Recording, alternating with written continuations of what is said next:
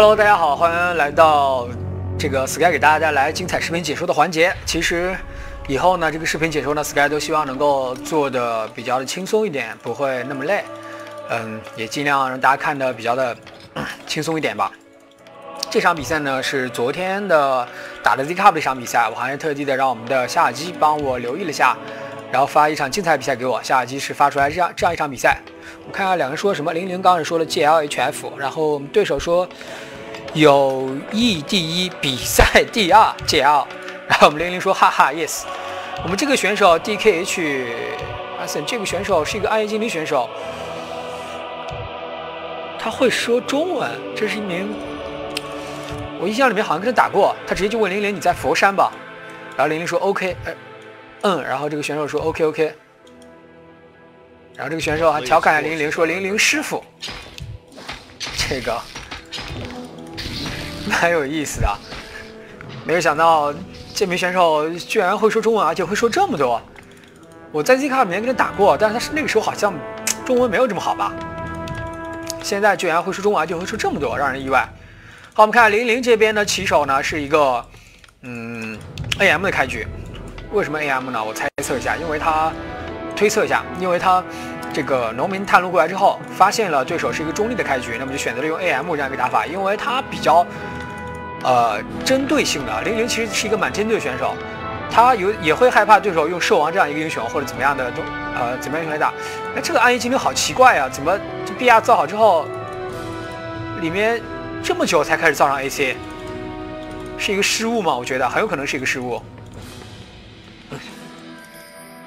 过了很久才造上 AC 啊。话继续说回来，就是零零呢，他是一个比较喜欢针对就是对手人族的一个选手。比如说，嗯，他发现人族有可能用 MK 的时候，他就会选择中立用兽王，然后兽王打 AM 也可以打，所以他就认为，呃，AM。打这个，呃，不是 M K 打兽王是肯定不行的，所以他就不会选择用 M K 来打。所以就是在这种情况下，多半的时候他会选择用 A M 来打。这个小精灵能报到吗？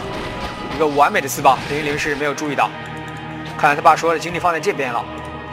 刚刚那个小精灵，一个残血小精灵啊，简就是随便一个福特曼都可以打死的，但零零都没有 都没有分心去打他，然后被爆掉一个水燃，同时呢又爆掉 A M 的魔法。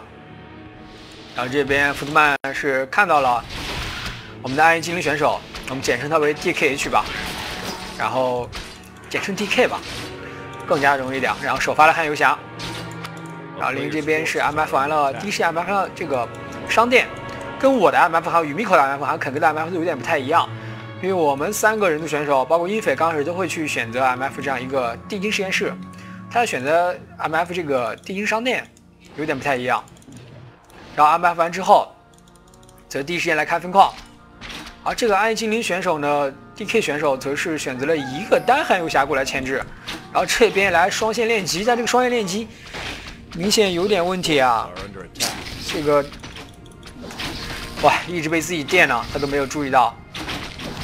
好吧，这边期待你不会被不会被拍死。然后汉游侠过来牵制 MF 一下。要抢这个怪物吗？能抢到吗？没有抢，抢宝物吗？抢本书也不错，书也没有抢。汉游侠被痛打了一顿，打的有点惨。然后四个 AC 这练的，喝了一口酒都没有喝满啊，被闪电盾烫过来烫过去，自己烫。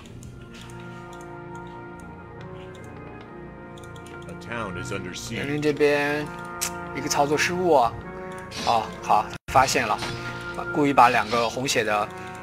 这个半血农民换进金矿，然后两个满血农民变成民兵来打这些骷髅、骷髅、骷髅。这个发音之前发的一点有有点不标准，被大家纠正了多次，现在应该可以纠正过来了。这是一盘大战呀，真的是一盘大战。我可以给大家先透露一下。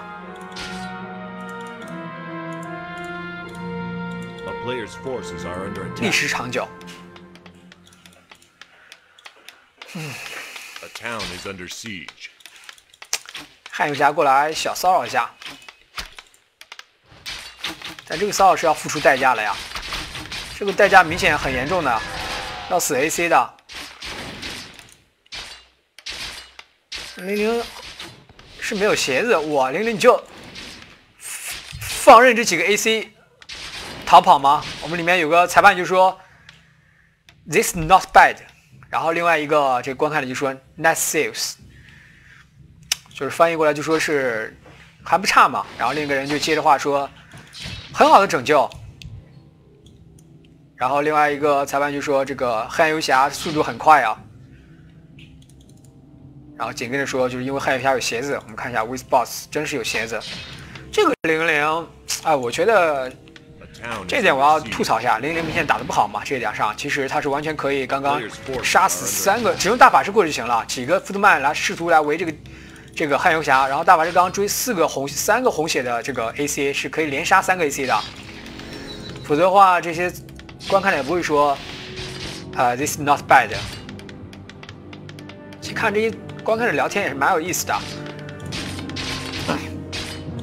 但零零刚刚可能是一个想着把分矿强行开起来一个节奏，但也还好吧，分矿开起来，我觉得 我觉得没有没有太大吃亏的地方。我们看阿叶这边，奇奇古树，一个单边啊，四口井，一个伐木机，然后好多的 AC 啊，还在不断的牵制。这个 零零一过一过来，刚一过来，别人就去你家去你这个分矿了。然后上电在快造好那一刻取消掉，这很明显零零要回城的，肯定要 TP 的。然后这个零零是要选择没有选择 TP，二级横游侠一 TP 其实可以直接打跑的。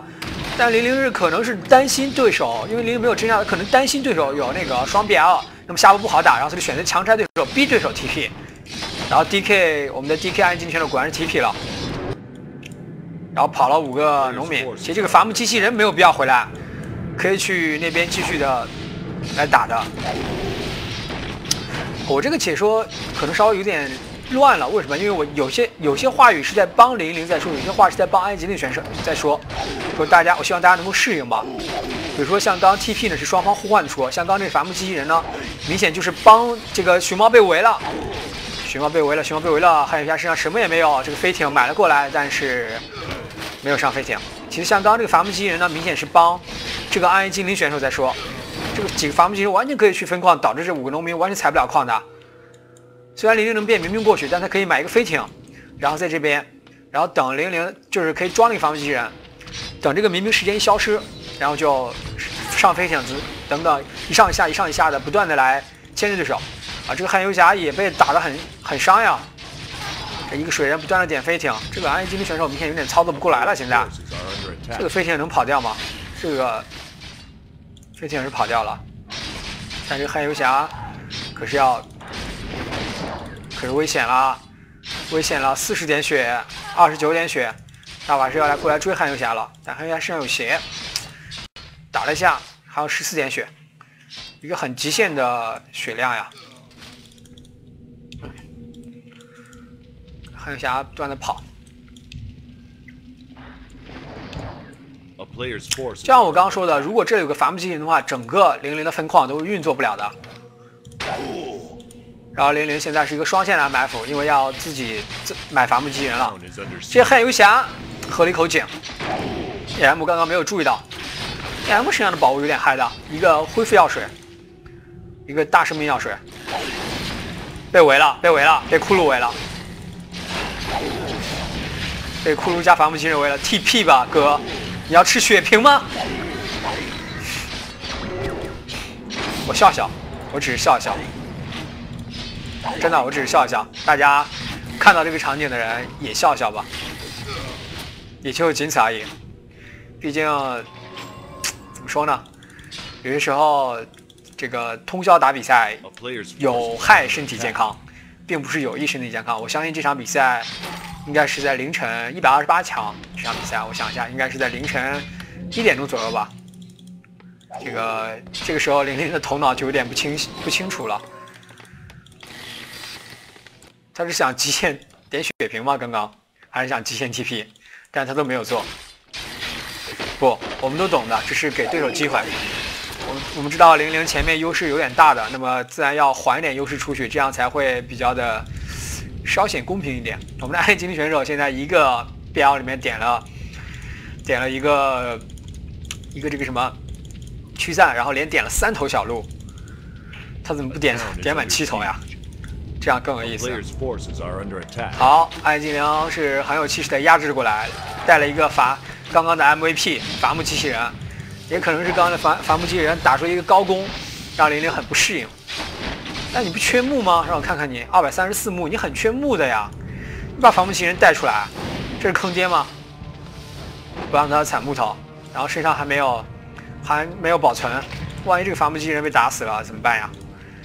那你就没有木头采集了呀。而玲玲这边是一个伐木机器人，没有飞艇，这个伐木机器人是怎么进来的？应该是从这儿进来的吧？但这个地方能进来吗？我们林的作战部队是很多的。我们有个观看者在这里打了一句话：“He want to play two tanks。”问其他的观看者：“零零是不是要用坦克？”那么我现在来回答一下你：高级伐木术，然后分矿要造塔变坦。那么 BS 还没有造，但有可能会是坦克。这边很游侠在不断的追击，零这盘打的蛮大胆的呀，因为分矿不造塔，然后二发 MK，然后也没有造出兵的建筑，这是要用一个什么样的打法，我都有点搞不清楚了。有可能坦克，有可能三本，我觉得就是两个路，要不就坦克，要不就是三本打法。不害怕猜错，但要勇敢猜测零零的想法。伐木机人回来了吗？我们找一下。回来了，我看安精灵的木头，二百多的木头，因为有一二三四五六七七个小精灵，七个小精灵在不断的采集木，采八个小精灵在不断的采集木材。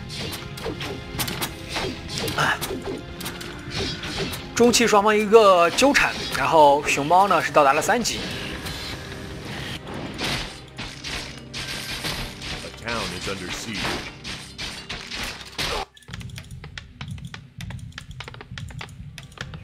双生命圣地三本都要好了一个双生命圣地，然后造一个 BS，看来零零是要用一个三本的这个三本的这个呃骑士三本打法来打对手，应该不是坦克了。我们看提的攻，骑士的防，也就是坦克的防。但这盘来看的话，零零的状态还不是最佳。为什么这么说？因为像刚刚的、刚刚的这个 AM 的死掉，以及三本都已经升好了，然后双生命圣地才好，然后用一个三本打法。因为你三如果双生命圣地是可可以很好很早就造上的，它可以早点的出男女巫，然后来升级自己的单位东西等等这些，然后可以更早点用三本的打法。但玲玲没有这么做，看来他就是说在当时有点这个思路上应该是没有反应过来。根据我的推断。然后现在升级了烧塔的反应以及这个控制魔法，还是蛮不错的。然后烧塔反应真好，这个安精灵选手其实可以勇敢下来打的。这个时候零零还是没有单位的，你是有很多小路，完全可以驱散水源，是完吃零零的部队的，完吃零零的几个英雄。然后只要身上有保存，那么零零就很难杀你的单位。安精灵选手有点怂啊，真的是有点怂。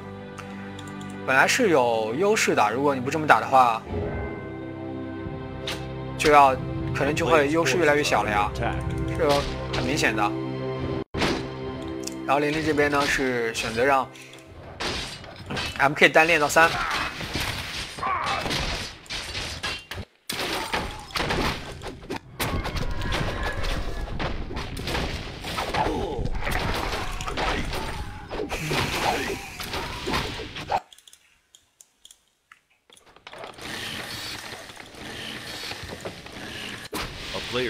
forces are under attack.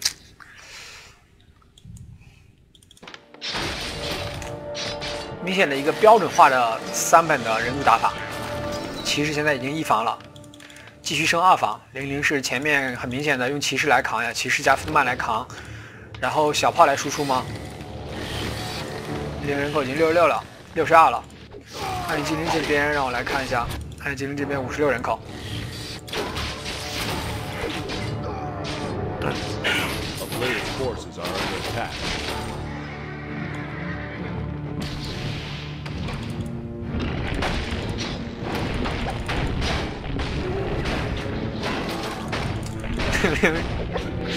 想 MF 这个地方，结果直接被暗夜抓了个正着。暗夜是刚好顺便安排完雇佣兵之后，顺便过来想把零零也 EMF。幸好我们的三代选手是带的有 TP 的。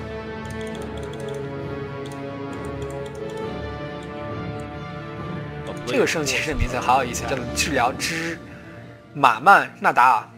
如果念慢一点，叫它治疗之马。然后名字叫做曼拿达，治疗之马，野麦，克沙野麦，熊猫，米拉破，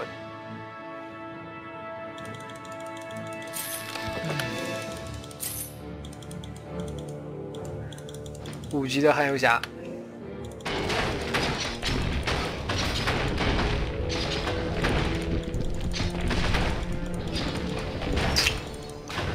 这个圣骑士练的有点，练的有点这个红呀。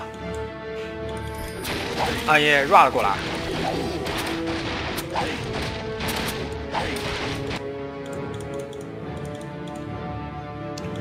现在暗夜分矿才好。从这个局势上来说呢，我觉得对零来说还是比较有利的呀。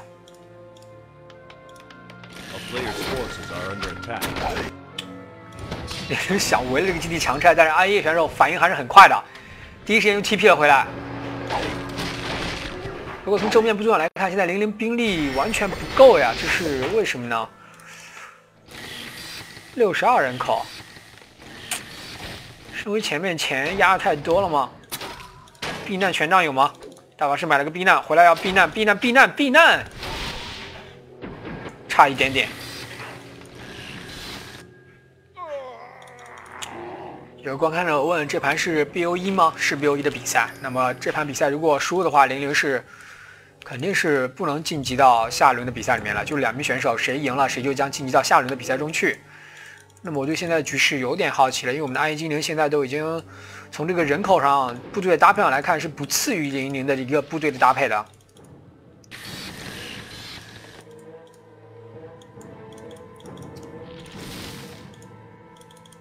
Town is under siege.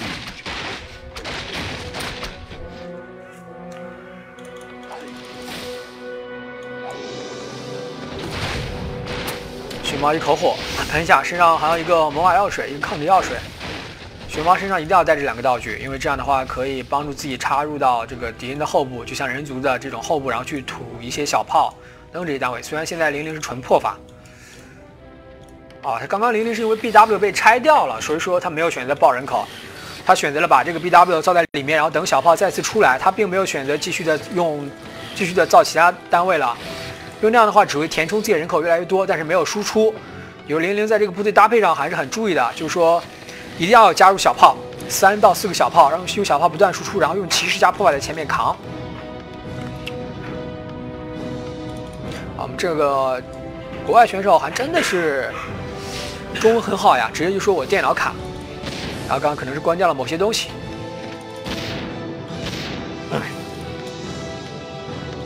现在这个八神口的大战呀，金云龙再加入到部队，这对于安逸来说是件好事啊。金云龙越来越多的话，能帮助自己的部队作战性上会强上很多。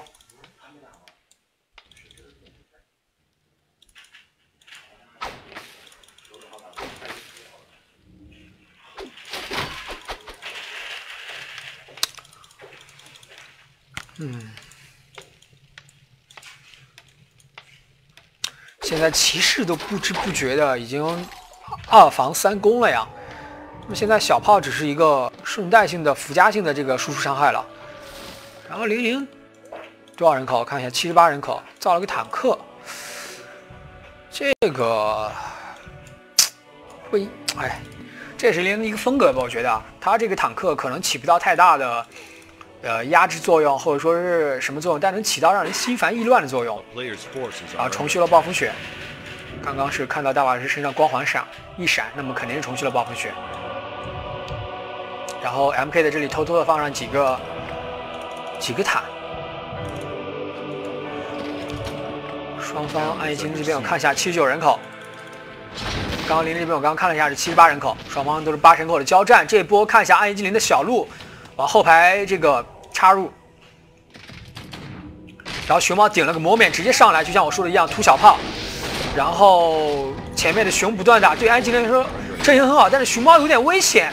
这个熊猫低估了哦，差一点点，差一点，差一点点，他低估了骑士的这个攻击啊。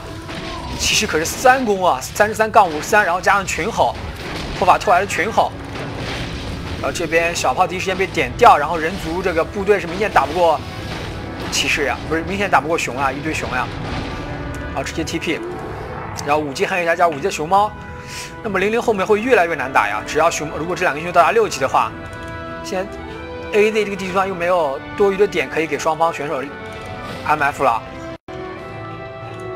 这个是零零越来越难打的局势呀。这个熊猫刚是被保存位之后单传了过来，其实现在可以双保存了，我觉得真的，你都可以再买上一个保存。这个骑士会被避难吗？没有，避难看来是在 CD。然后帕拉丁呢？帕拉丁刚刚是死掉了，刚刚一个没有看到帕拉丁，因为只注意力集中在熊猫身上了。零零现在是越来越难打呀。肯定是越来越难打的。这个 M K 危险了，然后大法师的暴风雪现在终于开始第一次释放。这个熊猫又一口火，然后现在是零零四元民兵都敲上了，但是这个单位越来越少了呀。这个熊猫不要挖险了，然后被保存了回去。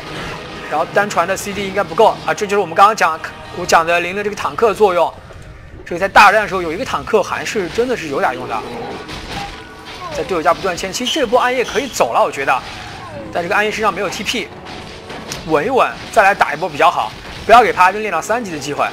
但现在明显他是给零零零提供这样一个机会。这个熊猫刚刚是单传用过，说在千里迢迢走过来，然后现在是破法的作用就发挥了出来。在没有小路的时候，哇，一口熊猫赶了过来，一口火吐了出来。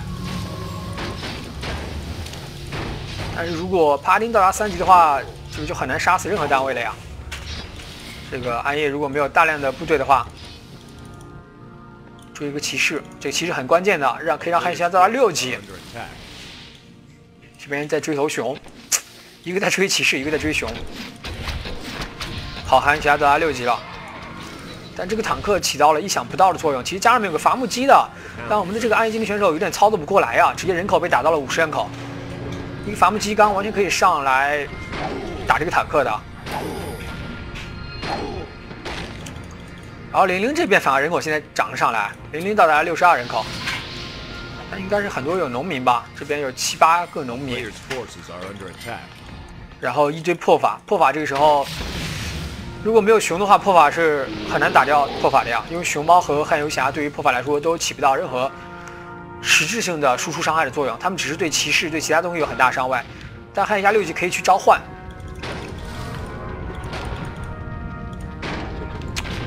没有井水，看一下有点尴尬。有个宝物，没有人捡。然后一个金龙在这边，然后零零开始转了两个直升机来打这个金龙，三攻的金龙，三攻二防的破法，这个破法真真的是很难很难杀死的。